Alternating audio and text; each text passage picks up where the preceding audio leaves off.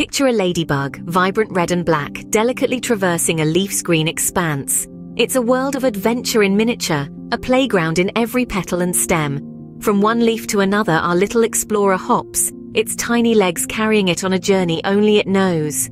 Suddenly, it encounters a raindrop, a droplet that to us seems insignificant, but to our ladybug, it's a mountain to be conquered. A humorous struggle ensues, a testament to the resilience of nature's smallest creatures. Did you know when threatened, a ladybug can secrete a yellow fluid from its legs? A fascinating defense mechanism in an insect world full of surprises.